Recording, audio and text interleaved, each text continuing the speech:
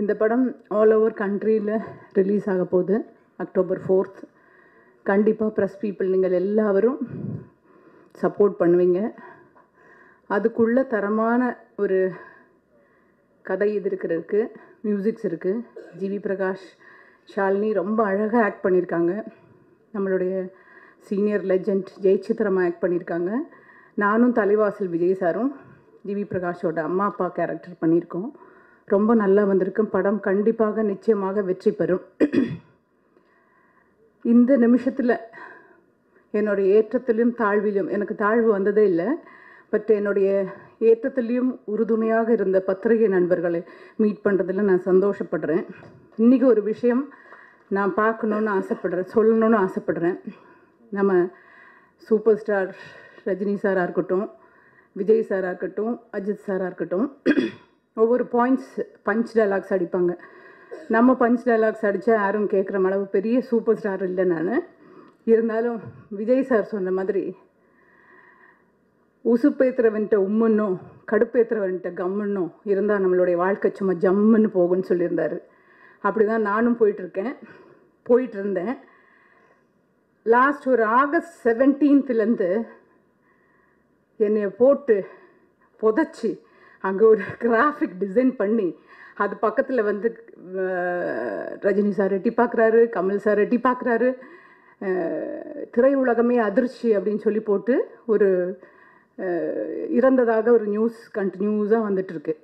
எனக்கு ஒன்றும் இல்லை. எனக்கு எப்போவுமே நான் வந்து ப்ரெஸ் பீப்புள்கிட்ட வந்து ஏங்க இப்படி போட்டிங்க? நான் கேட்டதே கிடையாது. ஏன்னா பிகாஸ் அதுக்குள்ளே போய் பார்த்தேன் மீச மச்சான்னு ஒருத்தர் இருக்கார். யாராச்சும் இருக்காரான்னு தெரில ஏன்னா இப்போ இருக்கிற சேனல்ஸில் வந்து ஒரு ஃபோர் ஹண்ட்ரட் மீடியாஸ் வந்து வித்தவுட் லைசன்ஸ்லேயும் வித் லைசன்ஸ் ரொம்ப ஜென்யூனான இருக்க பீப்புளும் இருக்காங்க.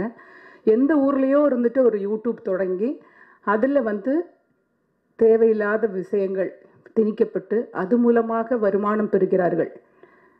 அது வந்து எப்படி எந்த நிலைமைக்கு நீ போயிட்டுருக்குன்னு தெரியாது. இனி வர ஜென்ரேஷன் எப்படி இருக்குன்னு தெரியாது. இதுக்கு வந்து மத்திய அரசு கண்டிப்பாக ஒரு முடிவு எடுக்கணும். இந்த மாதிரி அன்னோயிங் ரொம்ப மறுத்தப்படத்தக்க இந்த மாதிரி நியூஸ் எல்லாம் வந்து முக்கியமாக செலிப்ரிட்டிஸை பற்றி இவங்க இறந்துட்டாங்க. இவங்களுக்கு இதாயிடுச்சு. அதாயிடுச்சுன்னு போது நம்மளை வருத்தப்படாது. நம்மளை சேர்ந்தவங்களை ரொம்ப வருத்தப்பட வைக்கும். என்கிட்டயே கூப்பிட்டு ஒரு ரெண்டு மூணு ஆக்டர்ஸ் கேட்டாங்க. நீ இறந்துட்டியா? ஆமாம் நான் தான் பேய் தான் பேசுகிறேன் அப்படின்னு சொன்னேன். அந்த மாதிரி இறந்துட்டிங்களா? இறந்துட்டிங்களான்னு சொல்லி கேட்குறது நம்மள்ட்டையே நம்ம ஃபோனில் கூப்பிட்டு கேட்குறாங்க எனக்கு அது ரொம்ப வருத்தமாச்சு. இந்த மீச மச்சான் போட்டிருக்காரு. ஒன் மில்லியன் பீப்புள் பார்க்குறாங்க. இந்த நாட்டில் எத்தனை கஷ்டங்கள் இருக்குது எத்தனை குளம் குட்டைகள் கு- தூர் வாராமல் இருக்குது. எத்தனை மழை வந்து தண்ணி சேர்க்காமல் இருக்கிறோம். எத்தனை கார்ப்பரேஷனில் வந்து குப்பை எடுக்காமல் ஸ்ட்ரீட் ஸ்ட்ரீட்டாக குப்பை இருக்குது இந்த விஷயங்கள்லாம் விட்டுட்டு ஒரு செலிபிரிட்டி இறந்துச்சுன்னா எட்டி பார்க்குறதுக்கு நிறைய பேர் இருக்கிறாங்க. அதுவும் இல்லாமல் நம்மளுக்கு கொஞ்சமாச்சு இப்போல்லாம் நிறைய பேர் படித்து தான் இருக்கோம். காமன் சென்ஸ் வேணும்.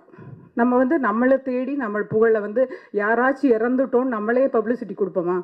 அந்த மீச மச்சான் யூடியூப்பில் போட்டிருக்கவங்களுக்கு கீழே கமெண்ட்ஸில் எழுதியிருக்காங்க ஏண்டி உனக்கு அறிவு இருக்கா? அறிவு இல்லைன்னா ஒரு கயிறு வாங்கி நீ தூக்கு போட்டு செத்துடு அப்படின்னு சொல்லியிருக்காங்க. அந்த காமன் சென்ஸ் இருக்கிற படிப்பறிவு உள்ள அந்த ஜனங்களுக்கு சொல்லிக்க விரும்புகிறேன் அது வந்து நம்மளாக தேடிக்கிற புகழ் இல்லை. புகழ் நம்மளை தேடி வரணும். நம்மளாக போய் இந்த மாதிரி ஒரு அன்னோயிங் இதெல்லாம் நியூஸ் எல்லாம் கொடுக்க மாட்டாங்க. நான் செத்து போயிட்டேன்றது நானே சொல்ல முடியுமா? அதை எழுதுறவங்கள தான் நீங்கள் திருப்பி கேட்கணும்.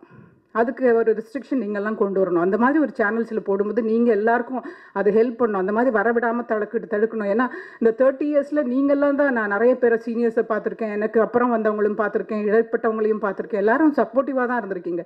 ஒரு ஆர்டிஸ்ட் நார்த் இந்தியாவிலேருந்து வந்தாலும் சரி தெலுங்கு உலகத்தில் வந்தாலும் சரி மலையாளத்துலேருந்து வந்த நயன்தாராவையும் வாழ வைக்கிறவங்க நீங்கள் தான். ஸோ அப்படி இருக்கும்போது ஒரு ஒருத்தருடைய மனசு சங்கடப்படுதுன்னா எத்தனை பேர் மறைந்த கலைஞர் அவர்களை இறந்து போயிட்டாங்கன்னு ஒரு நூறு தடவை எழுதியிருப்பாங்க. கேர் கேஆர் விஜயம்மா இறந்து போயிட்டாங்கன்னு எழுதினாங்க. அதுக்கப்புறம் மோகன் சாரை சாக அடிச்சிட்டாங்க. இப்படி இவங்கெல்லாம் இதுக்கு கேட்காம இருக்கிறனால தான் திரும்ப திரும்பவும் அவங்க அதை வச்சு பைசா எடுக்கிறாங்க. இது யூடியூப்பில் இத்தனை லட்சம் பேர் பார்த்துட்டா அவங்களுக்கு பைசா வரும்ன்றது ஒரு டீலிங்காக வச்சுருக்காங்க. அதையெல்லாம் வந்து மத்திய அரசு கண்டிப்பாக தடுக்கப்படணும் உண்மையாலுமே இது மாதிரி ஜென்யூனான பீப்புள்ஸ் தான் இருக்கணும். அவங்க நேரடியாக அத்தாரிட்டியாக ஆர்டிஸ்ட்டை பேற்றி என்ன என்ன உண்மைகள்னு தெரிஞ்சுட்டு அதுக்கப்புறமா எழுதணும். அதுதான் என்னுடைய வருத்தப்படுற ஒரு இது. நான் ரொம்ப ஹாப்பியாக சந்தோஷமாக கணவன் குழந்தை அதோட எல்லாம் ரொம்ப சந்தோஷமாக இருக்கேன். என்னுடைய வாழ்க்கையில் வந்து என்னுடைய அம்மாவை தர உங்கள் எல்லாருக்கும் தெரியும். ஷூட்டிங்க்கு வேறு யாரையுமே நான் அழைச்சிட்டு வர மாட்டேன். என்னுடைய தனிப்பட்ட வாழ்க்கை நான் ரொம்ப அழகாக கொண்டு போயிட்டுருக்கேன் ஹஸ்பண்ட் குழந்தை யூஎஸில் போய் படிக்கிறாங்க. ஹாப்பியாக எனக்கு கிடைக்கிற கேரக்டர்ஸ் அதை இன்னும் கொஞ்சம் மெருகூட்டி இன்னும் கொஞ்சம் நல்ல ஆக்டர்ஸாக வரணும். இன்னும் ஃபுல்ஃபில் ஆகலை. நூறு படங்கள் முடிச்சிட்டேன். பட் இருந்தாலும் நிறைய ஸ்டேட் அவார்டு வாங்கணும் நேஷ்னல் அவார்டு வாங்கணும்னு ஆசைப்பட்டு இருக்கும்போது என்ன இப்படி கொளுத்தி பாட கட்டி கற்பூரம் ஏற்றுறீங்களே அது உங்களுக்கு நல்லா இருக்கா? தயவு செய்து இதுக்கு நீங்கள் ஒரு நல்ல நடவடிக்கை எடுப்பீங்கன்னு நான் நினைக்கிறேன்.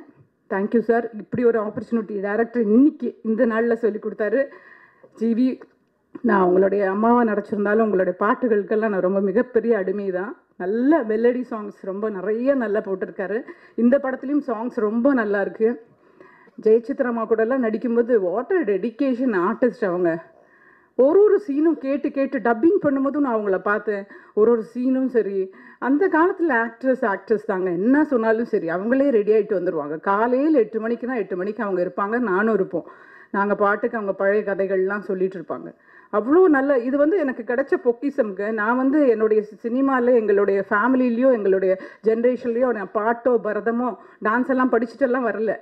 நான் வாழ்க்கையில் எனக்கு கிடைச்ச பொக்கிஷம். அந்த பொக்கிஷத்தை நான் தவற விடுவேன். நான் இன்னும் நான் நீங்கள் என்ன சொல்ல சொல்ல என்னுடைய கண் திருஷ்டியெல்லாம் போய் இன்னும் நல்லா தான் வந்துட்டுருப்பேன் நான் சும்மா ஜம்முன்னு தானே இருக்கேன். என்ன சொல்கிறீங்க இருக்குன்னா இல்லையா?